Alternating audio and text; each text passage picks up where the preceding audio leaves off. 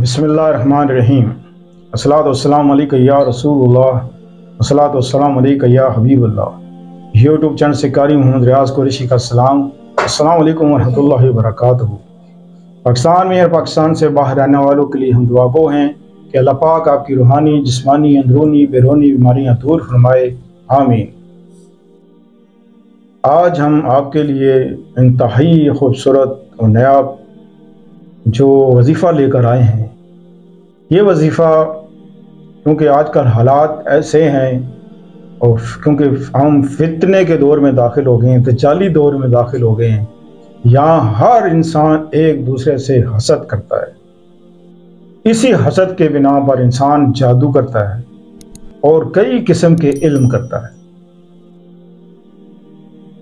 जिसकी वजह से हालात और वाक़ात बहुत ज़्यादा संगीन हो गए। एक तो माशाल्लाह पाकिस्तान में पहली महँगाई इतनी हो गई है कि लोग वैसे ही चक्कर खा जाते हैं, बिल देख के और जब बिल घरों में आते हैं तो उनको वैसे ही हार्ट अटैक हो जाते हैं।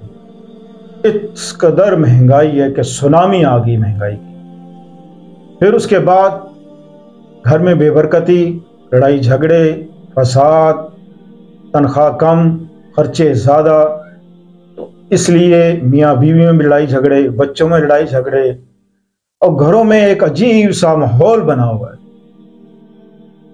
अब समझ नहीं आती किसी को कि हमारे पर किसी ने जादू कर दी है कि जी, हम पैसे लाते हैं, लेकिन पता नहीं लगता पैसे जाते कहाँ हैं।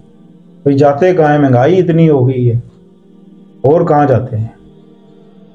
इस महँगाई की दौर में सबसे ज़्यादा गरीब आदमी, जो तनख्वाहदार आदमी है, वो और एक जो रोज़मर्रा का काम करता है दिहाड़ी पे, वो ये लोग पिस रहे हैं। इनको बहुत ज़्यादा मसाइल बन रहे हैं इनके लिए। और जिन जो कारोबार थे, जिनके बहुत ज़्यादा, अब वो कारोबार भी नहीं रहे, सरमायादार नहीं रहे, सब के सब जिनके पास पैसा था, बाहर के मुल्क चले गए, जो यहाँ हैं, वो रो रहे हैं। बहुत से लोग इल्म, पैसा कमाने के खातिर जो एक दूसरों पे इल्म करते हैं, बर्बाद करते हैं, वो आज हमको ये बताएँगे कि आपके ऊपर कभी जादू ना हो। अगर है तो वो भी ख़त्म हो जाए। और हसद की नज़र कभी ना लगे और शयातीन का कभी हमला ना हो, कभी जन्नात आपको ना चमड़ें। किसी किस्म का, किसी मखलूक से कोई भी नुकसान नहीं होगा। ये आप हजूर सल्लल्लाहु अलैहि वसल्लम का बताया हुआ एक वजीफ़ा है, तरीका है।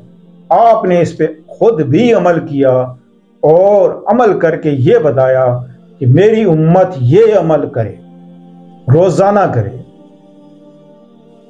आप हजूर सल्लल्लाहु अलैहि वसल्लम का रोज का मामूल था कि आप सूर्य फलक और सूर्य नास, सात बार पढ़ के सूर्य फलक, सात बार सूर्य नास पढ़कर हाथों पे दम करते और पूरे जिसम पे फेरते। ये आपका रोज का मामूल था। ये बताया है हमारे प्यारे रसूल सल्लल्लाहु अलैहि वसल्लम ने कि ए उम्मतियों, ऐसा किया करो। ऐसा किया करो। वरना आपको ज़रूरत नहीं थी करने की। हमें बताया है। जब आप हजूर सल्लल्लाहु अलैहि वसल्लम एक दफ़ा शदीद बीमार हो गए, आप इस्तकामत देखें इस्तकामत देखें अमल की। आप हजूर सल्लल्लाहु अलैहि वसल्लम शदीद बीमार हो गए कि आप खुद से हाथ नहीं उठा सकते थे। इतने बीमार हो गए। तो हज़रत आशा रज़ी अल्लाह ताला ने यही अमल किया सूर फलक सूर नाज पढ़कर आप हजूर सल्लल्लाहु अलैहि वसल्लम के हाथ पर दम किया और आपके हाथ पकड़कर आप ही के जिस्म पे फेर दिया। सुबहान अल्लाह। यानी किसी हाल में भी जो अमल है वो नहीं छोड़ा। हमारे यहाँ ये होता है कि हम दो दिन, चार दिन तो करते हैं, उसके बाद फिर छोड़ देते हैं। करते हैं, फिर छोड़ देते हैं। एक तो हमारा यकीन, माशाल्लाह, इतना है कि जैसे है ही नहीं, ज़ीरो बटा ज़ीरो। यकीन नहीं है।